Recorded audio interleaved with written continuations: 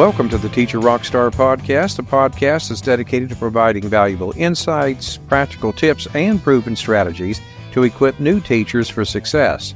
I'm your host, Steve Hiles, retired educator, published author, and instructional coach. Join me in each episode as we offer a supportive platform for navigating the challenges of the teaching profession. In today's episode, we will be discussing navigating Black history in the classroom and approach for new teachers with Dr. Aisha Johnson. And now I'd like to take a moment to share a little bit about today's special guest. Dr. Aisha Johnson, Associate Dean for Academic Affairs and Outreach at Georgia Institute of Technology Library, is a revelator of Southern Library history, information access, and literacy. She stands on her commitment to enhancing LIS through service, practice, and curriculum to produce librarians and archivists who become scholar practitioners and leaders. Johnson stands firm on a soapbox for unveiling the history of underrepresented and marginalized communities. Her research focuses on the development of literacy in the African American culture and philanthropic efforts that gave aid towards literacy in the South. Her advocacy is conveyed in her research and scholarship, as well as her professional career with nearly 15 years of experiences as a practitioner, librarian, and archivist and organizational administrator. She, alongside other black librarians, were recently featured on Good Morning America advocating for black librarianship and the forthcoming documentary, The Black Librarian. She continues to build onto a platform of advocacy, bringing awareness to the need for more minority information professionals and the field of library and information sciences as an impactful career. Welcome to the Teacher Rockstar Podcast. I'm your host, Steve Hiles. In today's episode, we're going to be discussing navigating Black history in a classroom and approach for new teachers with Dr. Aisha Johnson. She's the Associate Dean at Georgia Tech and also works with the Association for the Study of African American Life and History at the foundation, what we know now as Black History Month. Welcome to the show, Dr. Johnson. I am so happy to have you here today. Thank you for having me. I'm excited to be here. All right. Well, would you like to share with our audience your journey in education? You know, how'd you get started in all this?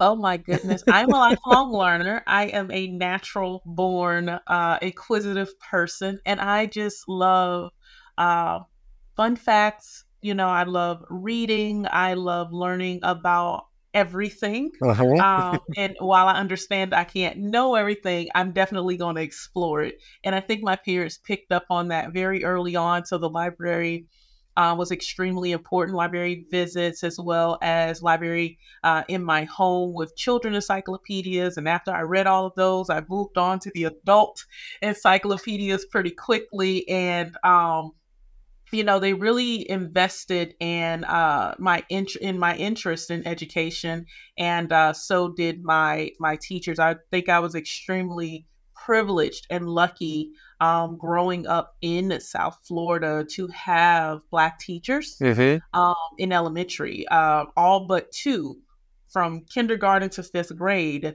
uh, my teachers were black, and I experienced that in such a cultural place as South Florida uh-huh. in middle school and high school on. Um, so that investment, that intentional investment, was there. So I just naturally, through my own uh, matriculation, I think education and librarianship just it found me. Okay, well that that's an awesome story. Uh, let me ask you this though: um, what practical strategies uh, can new teachers, since this podcast is mainly primarily dedicated to new, new teachers, employ um, to navigate the challenges of teaching, you know, Black history in the classroom? And because sometimes it might be a little awkward for some, I would think. Yeah, it you is kind of awkward sometimes to try to teach uh, a culture or community's history that you are not a member of, uh-huh. right? Um, I think it's critically important to uh, be mindful of focusing on not only the facts, but heavy on the triumph, the adversity that various cultures overcome uh, in this country. I think is extremely important to also highlight the contributions uh, that you know, particularly in this case, African Americans have made towards the country on a large scale, but also everyday life. Mm-hmm. Absolutely. Um, you know, we talk about like, what is your take on like what you see in history books nowadays? I mean, in terms of. I think, and it really just depends on the publisher, right? Because you have, uh, you know, history books like uh, Clark, uh, excuse me, um, Darlene Clark Hines, but you usually that is extremely inclusive from, I mean, middle passage mm-hmm. to Obama, right? Um, it's extremely inclusive of all the facts, the the ugly but the triumphs, the contributions, the the you know just. I think it depends on the publisher, right? Mm-hmm. Oftentimes, like I mentioned, that's a book that I used to teach when I was teaching African American history in college. I see. Uh, to college students. So, you know, our literature is often challenged right now with the various legislation pieces. yeah.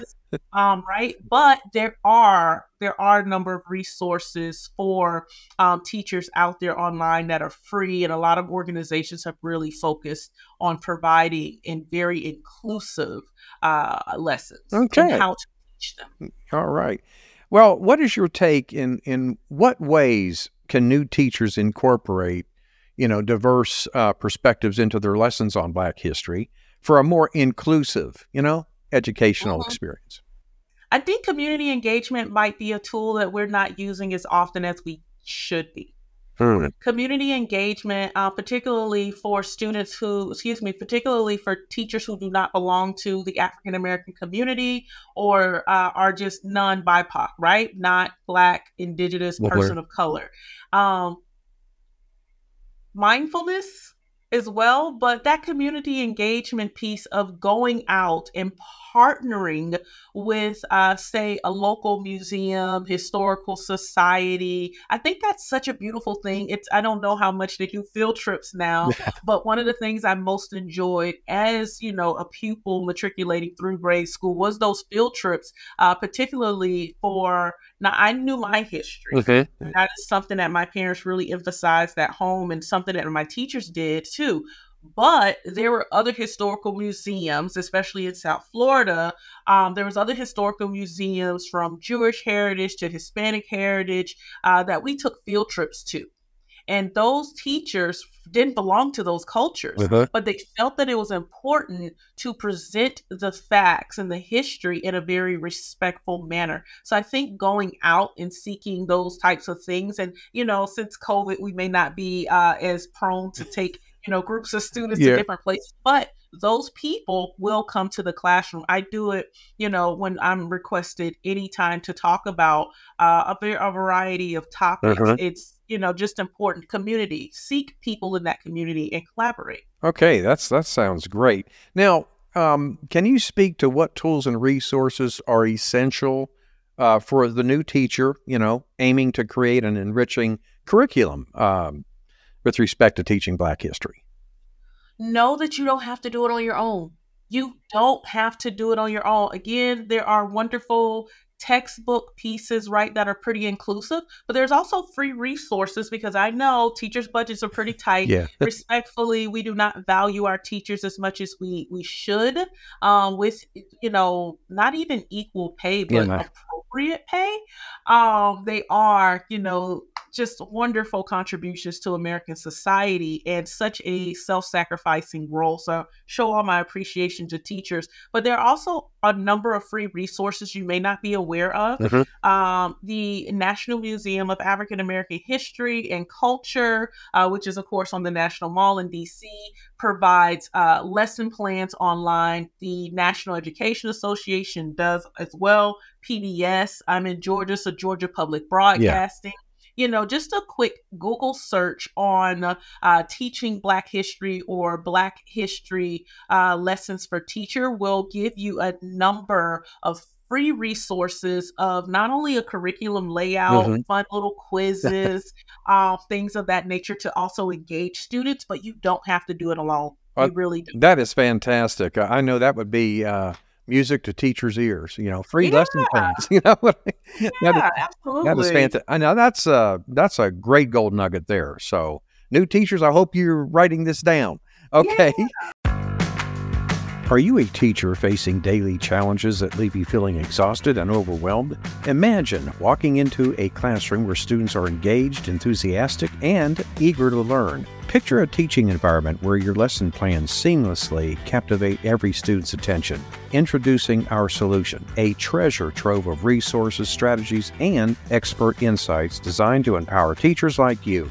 Our newsletter is your gateway to proven classroom management techniques, innovative lesson plans, and the support you need to thrive in your role. Ready to take the first step towards a transformed teaching experience? Sign up for our newsletter today. Use the link in the podcast description to gain exclusive access to a wealth of resources that will reshape your classroom dynamics. well, let me ask you, uh, Dr. Johnson, what role uh, does empathy, you know, play in a teacher's approach uh, to teaching Black history, and how can it be effectively cultivated in the classroom? Yeah, you know, I think um, empathy is so important because if I don't belong to a community um, or community of color in particular, it may be hard for me to imagine going through certain things, mm-hmm. right? Because mm-hmm. it's not my culture. So I can't have sympathy, but what I can have is empathy, and that is consideration, that is understanding, that is mindfulness and emotional intelligence on what if, yeah, right? Yeah. How would I feel?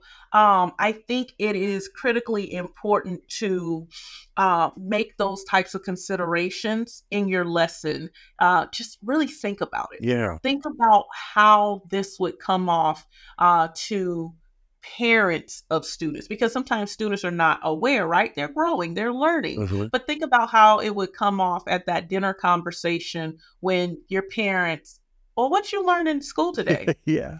You know, I, my parents and I had that conversation. We would sit down at dinner, my parents, my siblings, and I every evening, and that was the number one question. Mm. How was your day? How did school go? What did you learn? And usually, when there's lessons that don't go over well, parents don't find out until after they're taught.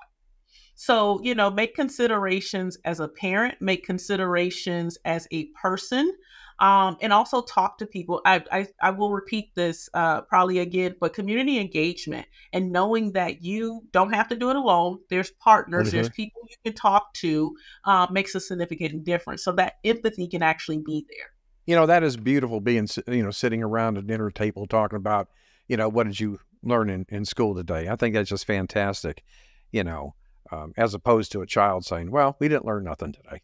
You know i mean? You had to have an answer yeah, yeah absolutely. So yeah, what, did, what, did, you do? Absolutely.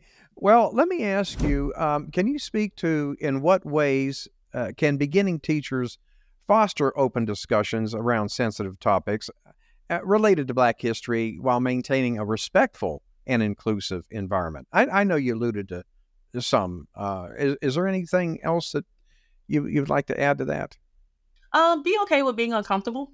Yeah, yeah. You know, it it Black history is American history, but it is also a very sensitive history, um, not only for African Americans, but also those teaching it who are not African American. It's very uncomfortable. And I think right now um, that we are more so about making those uh, of the culture, particularly white culture, who did this wrong, uh-huh. um, comfortable. And I think that's the wrong approach. I think it's a matter of we need to address the uncomfortability in it and really use it as a holistic American lesson. Right. Um, yeah. So it's okay to be uncomfortable. It's okay to have a little um, disagreement or it's okay to have uh, differences of opinions, right? Mm-hmm. I always tell my students if I assign a reading to you and you don't agree with it, let's discuss it. I probably assigned it for a reason. Yeah, right. Okay. I want to incite some form of thought,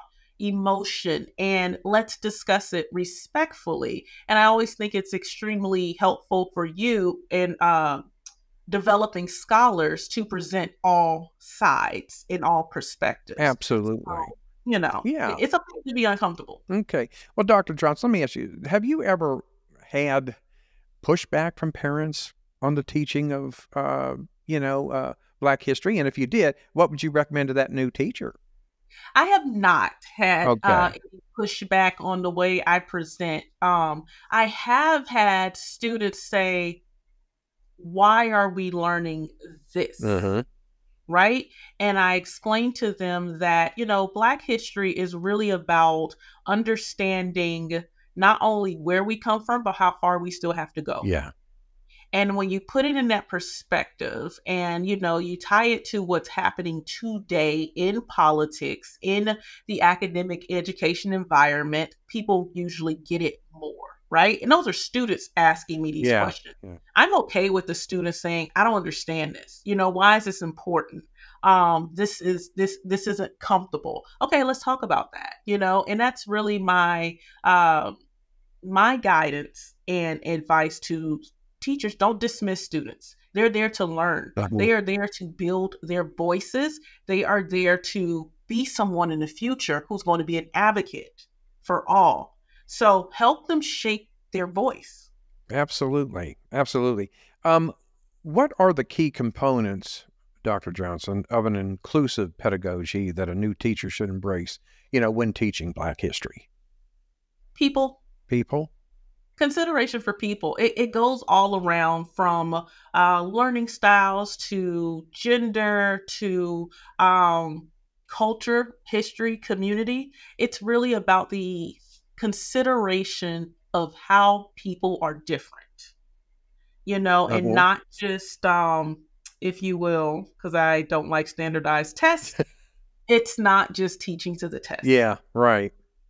teaching to the test and standardized tests are just this box. And if it's like pass or fail, either this works for you in the way you think or it doesn't. Uh-huh. And I think teaching to the test, if you will, as I like to call it, is a problem because it tends to uh, catch on to other lessons, right? And it's just like, oh, well, this is the curriculum, this is the box. There's no consideration Hmm. for student.